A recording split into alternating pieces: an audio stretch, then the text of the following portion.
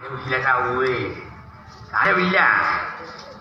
പത്ത് നൂറ് കൊല്ലം ഉപയോഗിച്ച സാധനങ്ങളൊക്കെ അല്ലേ മക്കളെ? വിദ്യാർത്ഥിയാണെങ്കിലും കുറെ കാലം ഉപയോഗിച്ച് കഴിയുമ്പോ തേയ്മാനം വരത്തില്ലേ? നൂറ്റൊന്ന് കൊല്ലം തൂറിയ ചന്തിയല്ലേടാ പിടിക്കുന്നിടത്തങ്ങ് നീക്കുകയല്ലേടാ ഉവ്വേ.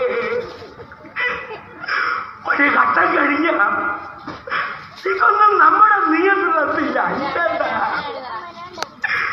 മുടിയാനെ കൊണ്ട് ചാകാതിരുന്ന എന്തോ ചെയ്യുമെന്ന് പറ. നീയാണോ തന്നെ കടിച്ചെങ്കിൽ ചാകാൻ?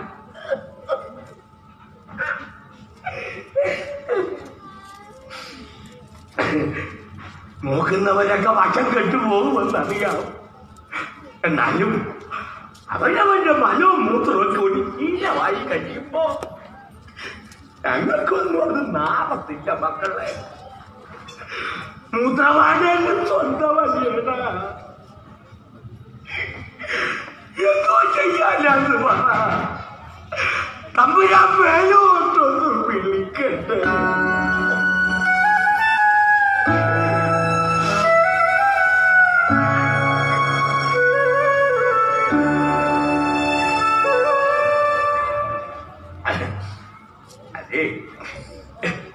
അച്ഛനൊരു അഭിപ്രായം പറയട്ടെ. ഈ പത്തനാപുരത്തൊരു ഗാന്ധി ഭവനുണ്ടെന്ന് കേട്ടു. പ്രായമായവരെയൊക്കെ മാന്യമായി നോക്കുന്നെന്നാ കേട്ടെ. നിങ്ങൾ പോകുന്നതിന് മുമ്പ് അത് എന്നും അന്വേഷിച്ചിട്ട് അച്ഛനെ അവിടെ കൊണ്ടുവന്നങ്ങ് ആക്കു മക്കളെ കത്ത് കഴിയുമ്പോ എന്നെ എന്റെ കുട്ടനാട്ടിൽ കൊണ്ട് കത്തിച്ച് കളയാൻ പറയണേ. എന്റെ അച്ഛനും അമ്മയൊക്കെ എനിക്കടങ്ങിയ മണ്ണല്ലേ? നിങ്ങളുടെ പെറ്റതല്ല ഉറങ്ങുന്ന മണ്ണല്ലേടി